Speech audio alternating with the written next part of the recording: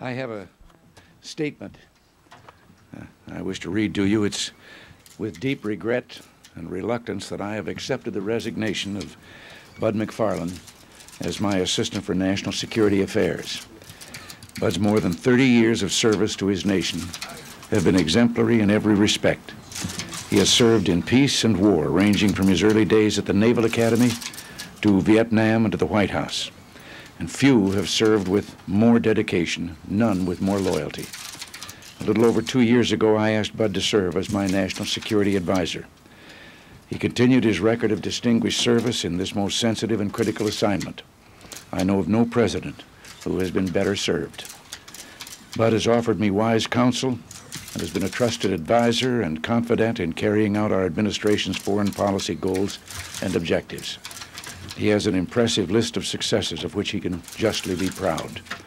His key role in the preparation for the Geneva Summit meeting and his contribution toward greater stability in East West relations, his unending efforts which have helped strengthen the Western Alliance, his service in the Middle East as my personal envoy at a most difficult time and at great personal risk, his key role in carrying out our counterterrorism policies as exemplified by the TWA hijacking incident and our recent operation leading to the apprehension of the hijackers of the Achille Lauro. But I know that you're eager now to move on to new personal and professional challenges. Let me say that I shall never forget the sacrifices that you and your family have made in the service of your country. And I wish you and your family the best success and happiness in the future. But before you get too comfortable, I should warn you that I'll probably be calling on you from time to time for your wise counsel and advice.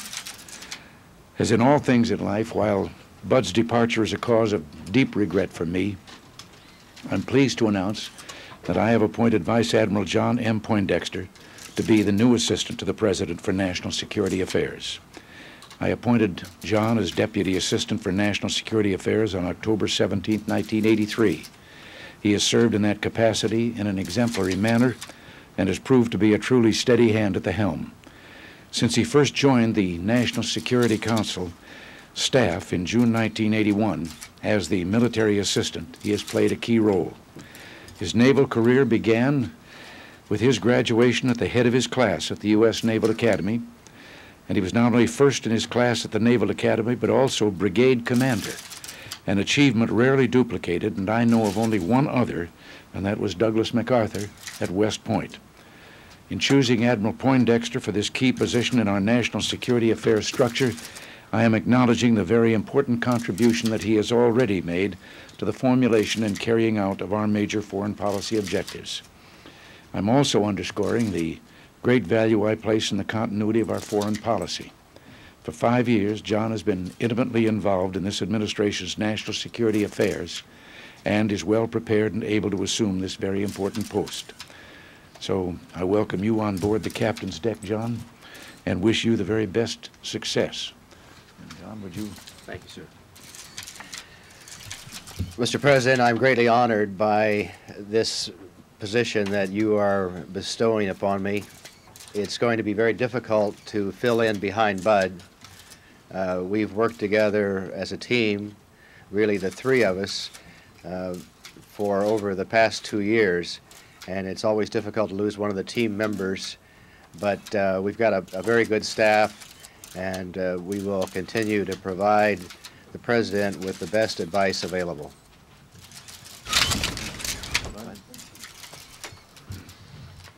President, John, colleagues, ladies and gentlemen,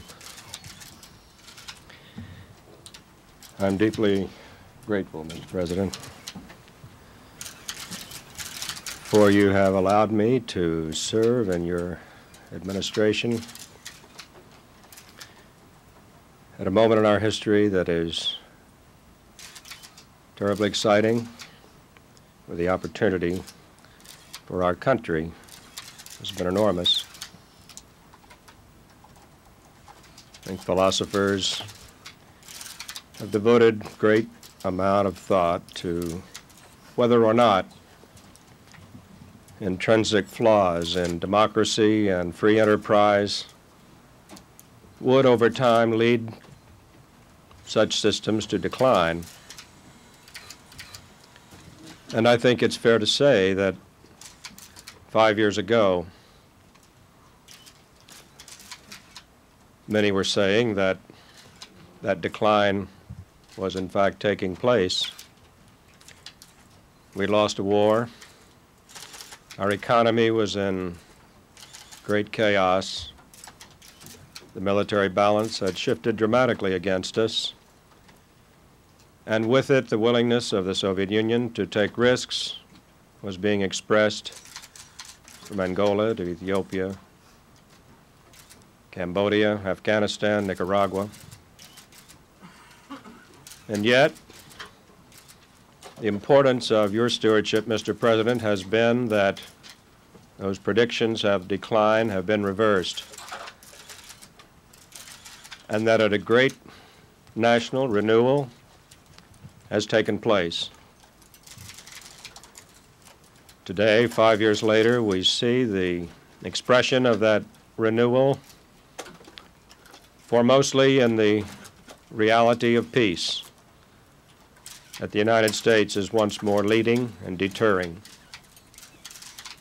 In an economy that is recovering with impressive pace and quality, and with it the resources going to provide assistance where it's needed to struggling countries that gives him them some hope for their own futures. And so the recovery and the restoration of American leadership is very, very well along indeed. It's not to say the job is finished. There are very, very fundamental questions to be answered in the next three years. For example, can the impressive renewal of the American economic strength be replicated in other democracies? Can the countries of Europe follow this model, reduce government intervention in their economy, reduce consumption of the product of their own societies? With regard to developing countries, can the United States, without imposing its model, by sheer example, provide sufficient political, economic, and moral incentives to lead these countries in the post-colonial period to adopt democracy, free enterprise. With regard to East-West relations, after the enormously successful renewal of a stable discourse, can we move beyond to wage peace and wage a peaceful competition with a fundamentally different system at lower levels of arms with broadened cooperation, but always at peace, based upon the strength of your leadership, Mr. President, and the sport support you've engendered from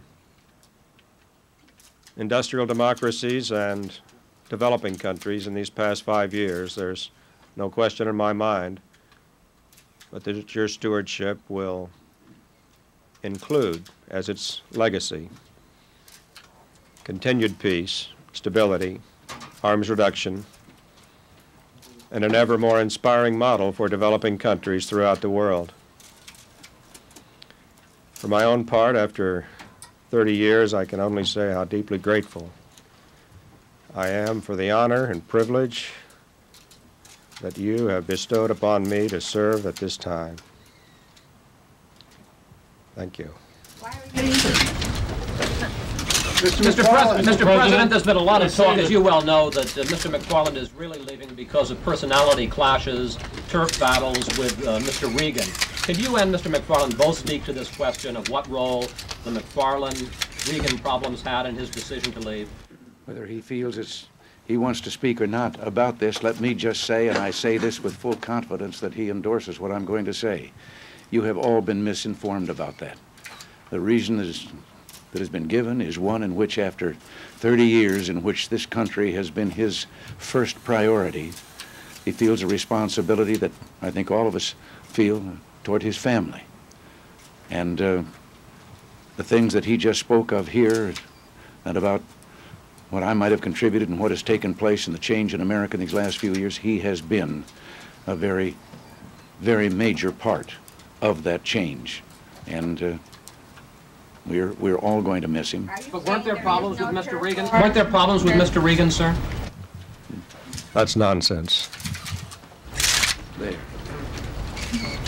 Mr. President, there are those who suggest that you were better served when there were a multiplicity of voices competing for attention inside the West Wing, and that under Mr. Regan, there will be uh, no point of view funneled to you which doesn't go through him. What do you say to that, sir? I can just simply say that the National Security Advisor reports directly to me and does not go through the Chief of Staff. Did you tell him What? that? Does he know that? Yes, yes. As a matter of fact, Lester, do you get along with Mr. Regan? Do you think you will have clash and clashes and turf battles with him? Well, as you probably know, the Navy and the Marine Corps always get along well together. I don't anticipate any problems. Uh, Don and I are, are good friends. Uh, I've known him since he was Secretary of Treasury. And uh, with regard to the last question uh, about access to the President, Don Regan told me that yesterday, that I had direct access. So it won't be a problem. We get along well. Mr. In President, nearly what does six this, years of what your does this presidency, change an in extraordinarily stewardship? large number of people have either resigned under pressure or of their own volition. Uh, Can you tell us why? I have read stories that have disturbed me probably more than anything that has happened since I've been in this office, of things of that kind. I happen to believe in something that might be a little unusual in Washington with regard to the cabinet structure and staff, and that is that I want to hear all sides of every issue before I make up make the decision that I have to make. And uh, as I understand it, uh, normally those have not, that's not been the nature of cabinet and staff uh, workings in this office. Whether, whether that's true or not, I don't know. I only know about ours. But for that to be translated into, what I am desiring, to, for that to be translated into is somehow friction, and every time someone leaves, I said in the very beginning, when I first came here and realized I had appointments to make, that I would take people if they could only stay a year, two years, whatever it might be, because the kind of people I wanted were the kind of people who didn't necessarily want government jobs. And I wanted that kind of success in here, and so every once in a while, someone has to has to move on and have their own obligations, their own responsibilities, and this is this is the case here. Mr. President, in terms of Mr. Beggs and others who have had to leave uh, government under your uh, regime, uh, don't you wonder at the clearance uh, policies of the administration where so many people have had to leave under cloud? I don't think it's been so many people when you stop to think that there are uh, upwards of a thousand uh, people that are appointed. And uh, with regard to Mr. Beggs, I don't know of anyone who could have done a finer job than he has done uh, and is doing at NASA. And we're talking about something that is supposed to have happened uh, prior to government service, and also, if you read it correctly, not something in which he in any way was, was doing anything, if he was doing this at all, that uh, uh, would uh, redound to his benefit personally or enrich him in any way. And uh, I believe that everyone is innocent until proven guilty of uh, whatever they're charged with. And uh, I can only go approve with the record.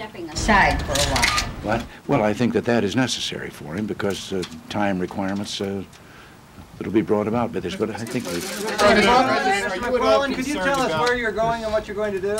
This is going to be the last question.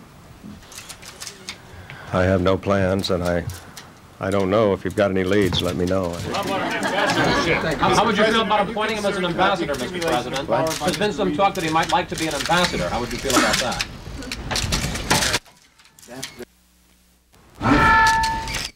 what do I say? Yes, anything, but the man has told me and has said that he needs to leave certain, a certain responsibility to his family. Do you support Rostenkowski's tax plan, Mr. President? Tax plan. Tax plan. Rostenkowski's tax plan, I sir. I hope that the process goes forward through the Senate and then to a compromise. And that we get tax reform. Does that mean Admiral, yes? Yes, you do? Yes, you support it? I want the process to go forward. Admiral, will we ever see you?